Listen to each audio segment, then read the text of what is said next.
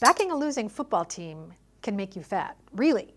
That's the results of a new research study that was conducted by INSEAD marketing professor Pierre Chandon, who's here today to discuss the results with us. Welcome to INSEAD Knowledge. Thank you. Pierre.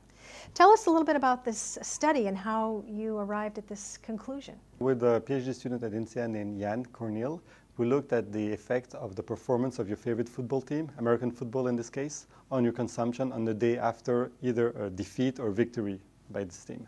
And what we found was just fascinating.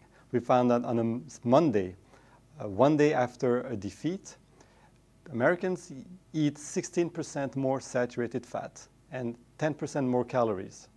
But on the day after a victory of their favorite team, then it's the opposite. They eat healthier. They eat 9% less saturated fat and 5% fewer calories. And so the basic behavior that we found is that, um, as you said, the performance of your favorite team influences what and how much you eat. I see. Well, tell me a little bit, um, how did you get interested in, in, in actually studying this? So Has it ever been done before? No, actually, there's been a, a lot of studies on the effect of uh, football uh, defeats on things like uh, traffic accidents, uh, heart attacks, even domestic violence, and they all found really big effects of defeats.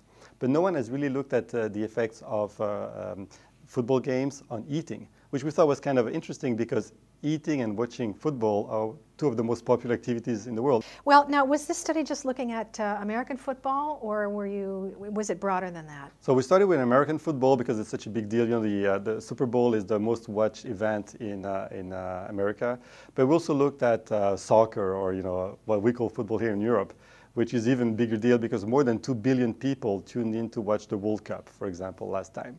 And what we found was exactly the same effect. I see. All right. Well, um, I mean, obviously, this is not very good news to the average, uh, you know, football fan. Um, you know, people could actually put on a fair amount of weight if, they were, if their team was on a losing streak. But um, what can be done about it? I mean, is there a solution? Is there a, a cure to this to this problem? Right.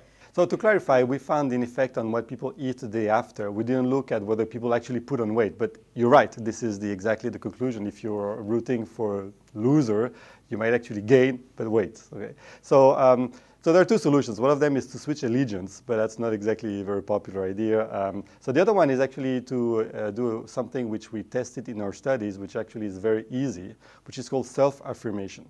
So the basic idea, the basic uh, issue here is that uh, when you're a fan, the team is part of your self-identity. In fact, if you're a fan of a team, you don't say they lost, you say we lost. And so in a way, I lost.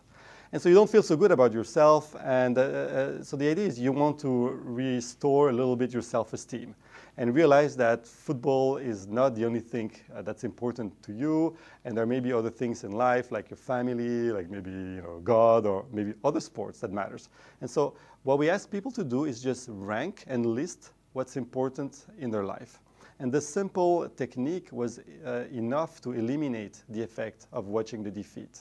And uh, so there's a solution that sports fans or their loved ones can use after really brutal defeat to avoid uh, really going and splurging on uh, chocolate candies. Um, aside from, of course, this major finding that you, you talked about where, you know, calorie consumption goes up and, and saturated fat, are, are there any other uh, main findings that you also discovered in doing your research? Yes, so very interestingly, we found that the effects were the same for men and women, although men tend to be more uh, fans, fanatics. Um, women perhaps uh, tend to be more emotional eaters. We also found actually uh, the worst effects was uh, when your favorite team was playing against an opponent of equal strength, when the defeat was unexpected, if you knew that the odds were bad, it's easier to accept it, and when the defeat was narrow, okay? When it came down to the wire, when they could have won, this is when it's really the most difficult. And who do you think should be most interested in, in these findings? Is, is it food companies that you think should be paying attention to this, or health ministries for that matter who are you know concerned about rising rates of obesity um, who do you think or of course football fans really it's mostly for the fans because the basic message is that uh, emotional eating is uh, bigger than we think we are influenced by so many things that are not under our control and that influence in, in a really profound way what we eat in the eight cities with the most devoted NFL fans, we found that uh, their increase in saturated fat consumption was 28 percent after the defeat. I mean, these are really big effects, okay? Uh, and they were not compensated the day after. So you just eat more and eat uh, more fat. And uh, so just have to be aware of that and, and, and think and anticipate how you could be influenced uh, by uh, your sports team. Do you foresee uh, a follow-up to this research study? Are you going to go in another direction to try to take this farther? One thing that uh, we find in most uh, studies on, on, nutrition and health is that emotions are always the enemy. It's a bit the same thing here, um, especially negative emotions like uh, feeling sad and hurt.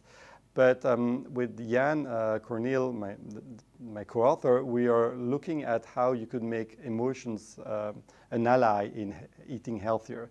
And so we're looking at how by better uh, describing the sensory and the aesthetic pleasure of eating, you might actually get more satisfied with less food. And so uh, instead of seeing pleasure as the enemy and um, trying to get rid of pleasure in uh, food, which is what nutritionists always say, uh, let's try to better understand the role of pleasure and emotions in general, and let's try to leverage that to help us make the healthier, healthier choice.